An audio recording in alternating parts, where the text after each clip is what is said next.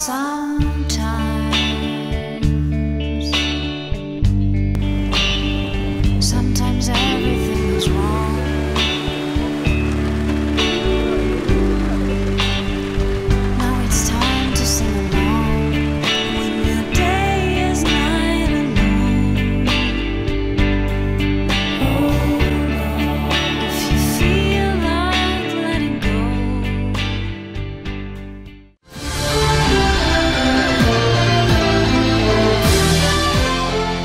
Na semana passada, o furacão Maria, que atingiu Porto Rico e boa parte da América Central, além dos Estados Unidos, causou sérios problemas na internet brasileira, principalmente para quem tentava acessar sites internacionais, entre eles até mesmo o Facebook. Nosso consultor de tecnologia, Marcelo Rafael, está aqui mais uma vez para esclarecer o que de fato aconteceu e por que que um furacão, um fenômeno natural, pode atingir diretamente as comunicações e principalmente a internet brasileira. Tudo bem, Kevin?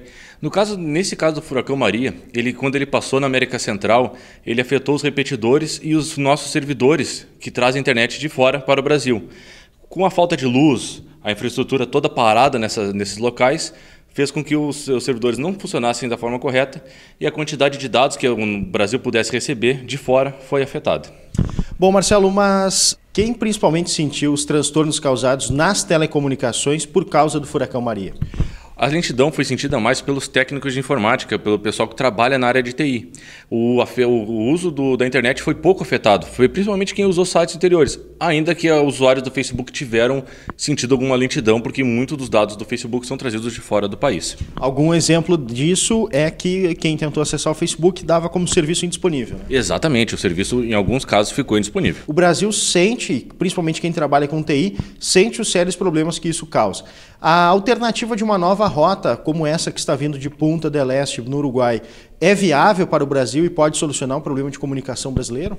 É, via- da região sul do país, né? é viável e também necessária, porque a gente tendo caminho somente pelo norte, do vindo da América do Norte, América Central, qualquer catástrofe que aconteça lá vai trazer esse tipo de transtorno para nós. É mais que necessária uma via pelo sul do, do- da nossa América.